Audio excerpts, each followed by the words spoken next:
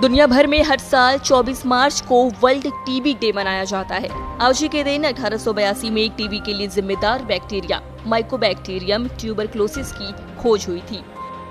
Doctor Robert Koch ने इस bacteria की खोज की, जो बैक्टीरिया तपेदक, यानी कि टीबी का कारण बनता है। उनकी ये खोज टीबी के इलाज में मददगार साबित हुई। साल 1905 में उन्हें अपनी खोज के लिए नोबेल पुरस्कार से भी सम्मानित किया गया।